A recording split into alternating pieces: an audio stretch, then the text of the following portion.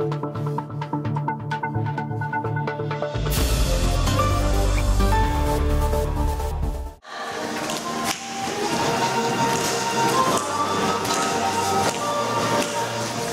Borg Kindberg, im Volksmund als Musical-Schmiede bekannt, steht die meistgespielte Oper der Welt, die Zauberflöte auf dem Spielplan.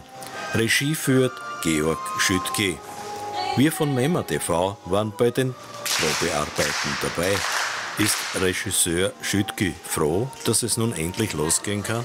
Ja, insbesondere, weil wir uns natürlich jetzt in dieser noch nicht ganz post, aber doch hoffentlich irgendwie nach den schlimmen Teilen der Pandemie befinden und auch dieses Musical natürlich irgendwie äh, jetzt lange gelegen ist. Also wir haben es jetzt ein halbes Jahr verschieben müssen und man merkt natürlich ja an der Vorbereitungszeit, dass das eine sehr besondere Zeit war und sind deswegen aber umso mehr froh, dass wir jetzt wirklich wieder rausstechen dürfen und auf die Bühne dürfen. Und hat mich natürlich auch persönlich betroffen in den letzten Jahren, wir das nicht arbeiten dürfen quasi. Äh, und ich finde es irgendwie einen sehr besonderen Anlass, jetzt mit Mozart hier wieder sozusagen gemeinsam auf die Bühne und gemeinsam in den Zuschauerraum zurückzukehren.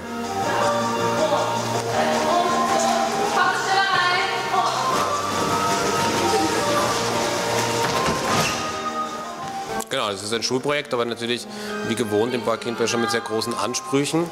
Und wir haben uns ja wirklich dieses Mal nichts Geringeres als äh, wahrscheinlich die bekannteste Oper ähm, ähm, der Welt irgendwie äh, vorgenommen, die Zauberflöte. Aber eben mit sehr jugendlichen Einflüssen, äh, mit einem äh, sozusagen musikalischen Counterpart. Also es gibt so ein paar Beatles-Nummern, die wir einflechten und die, die Originalmusik von Mozart ist äh, teilweise bearbeitet. Äh, trotzdem ist natürlich Mozart als Autor oder Schikanida auch irgendwie so stark, dass man nicht ganz, und will man ja auch gar nicht, wir haben ihn sozusagen ähm, glaube ich, versuchen etwas Jugendliches, etwas Frisches, äh, Mozart äh, durchaus Gefallendes auf die Bühne zu bringen. Und haben darin, glaube ich, einen sehr guten Partner gefunden in diesem mittlerweile doch schon einige hundert Jahre toten Komponisten.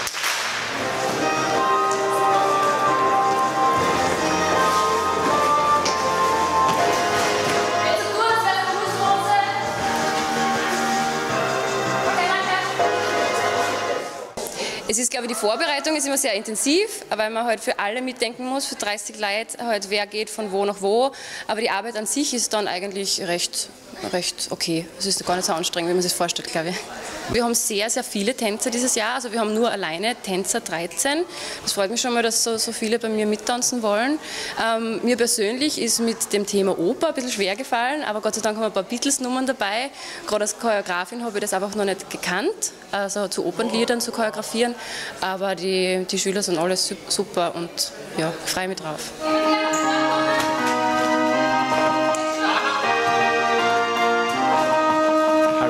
Ich bin der Gruber Maximilian.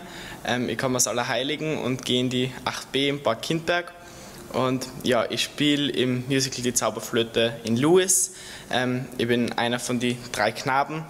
Und ja, wir führen das Publikum ein bisschen durchs ganze Stück durch und genau, wir bekommen auch quasi so Aufgaben im Stück, die wir mehr oder weniger erfüllen müssen, beziehungsweise ja, Schicksale quasi, denen wir nachgehen.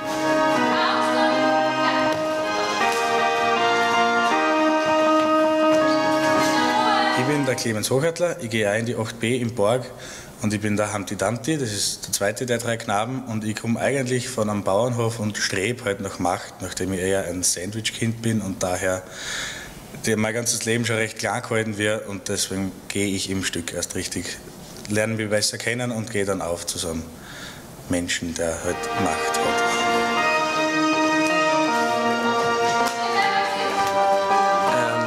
der Florian Zenz aus Krieglach und ich gehe derzeit in die siebte A-Klasse im Borg Kindberg. Ich spiele im Musical Die Zauberflöte in Dodo, also im dritten der drei Knaben. Und meine Figur zeichnet sich eigentlich darin aus, dass sie im Stück der Zauberflöte versucht, die große Liebe zu finden. Und meine Figur ist dann auch wirklich sehr schüchtern, aber das wird dann natürlich im Laufe des Stücks immer besser.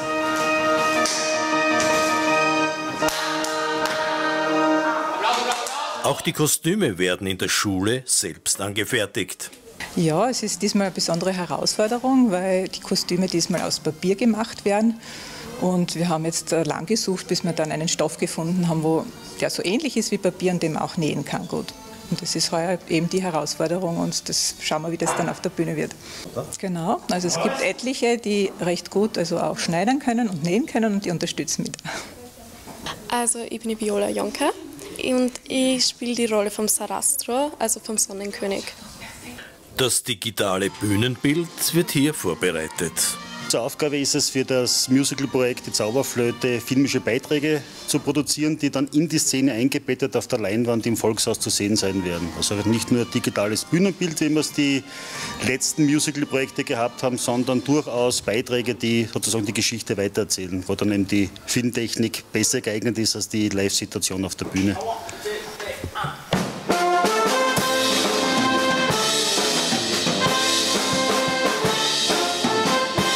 Die musikalische Herausforderung ist absolut gegeben, als wir das erste Mal die Idee aufgeworfen haben, äh, Beatles und Mozart zu kombinieren, war, äh, ja, was, wieso, was machen wir jetzt? Aber wenn man musikalisch in die Tiefe geht, ist Mozart ja nur oberflächlich äh, einfache Musik.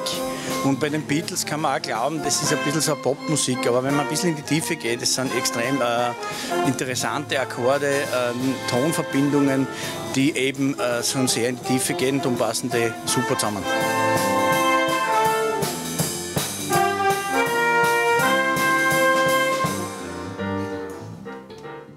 Jetzt am Ende der langen Pandemiephase wird es uns jetzt hoffentlich gelingen, die Zauberflöte von Mozart in einer sehr jugendlichen Form auf die Bühne des Volkshaus Kindbergs zu bringen. Wir werden die Musik von Mozart ein wenig verjüngen und sie mit einigen Hits der Beatle aufpeppen und die Geschichte der Zauberflöte als jugendliches Märchen erzählen. Wir haben uns ja bewusst entschieden, im Volkshaus zu spielen und nicht in der Sporthalle, äh, um mehr das Theaterfeeling einer klassischen Bühne zu haben. Wir werden das Stück aufführen in der nächsten Woche am 6., 7. und 8. Juli, am Mittwoch und Donnerstag um 19.30 Uhr und am Freitag um 18 Uhr.